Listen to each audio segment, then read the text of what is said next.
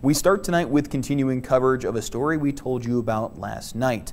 Law enforcement and community health partners are warning residents after a spike of fentanyl related overdoses, around a dozen over just the past few days. So what is fentanyl? Well, fentanyl is a synthetic opioid that was developed in 1959 and introduced in the 1960s and as an anesthetic. Now it's 80 to 100 times more powerful than morphine and it was a contributing factor to the U.S. record number of fatal drug overdoses last year.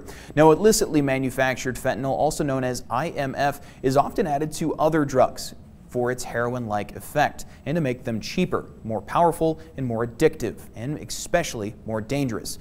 Now in 2021, fentanyl overdose was the leading cause of death for adults ages 18 to 45, outpacing COVID-19, suicide, and even car crashes.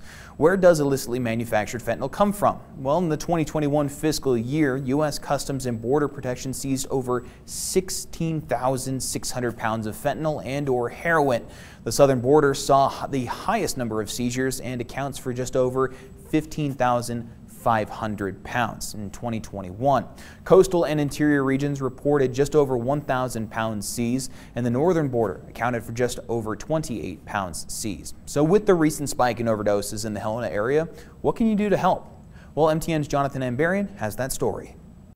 This jump in overdoses has healthcare providers in Helena concerned. We wanted to find out what they're recommending that could potentially save a life. One recommendation is the use of naloxone, also called Narcan. It's an emergency antidote for opioid overdose that can quickly restore a person's breathing to normal if it's slowed or stopped. If you're on a significant amount of narcotics, um, even by prescription, um, or if your loved one is addicted to narcotics, it would be wise to obtain some Narcan to have at home.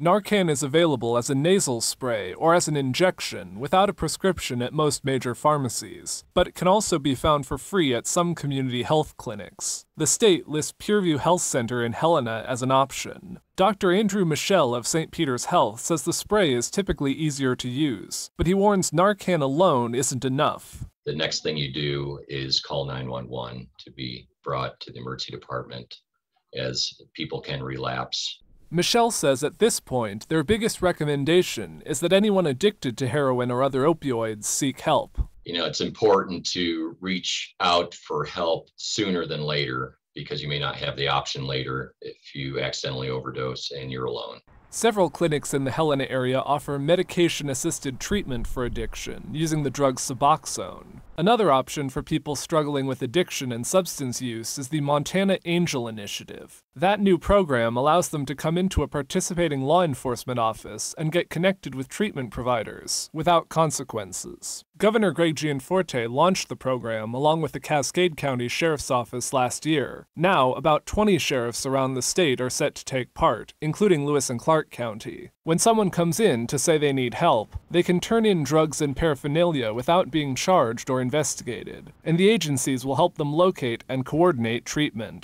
In Helena, Jonathan Ambarian, MTN News.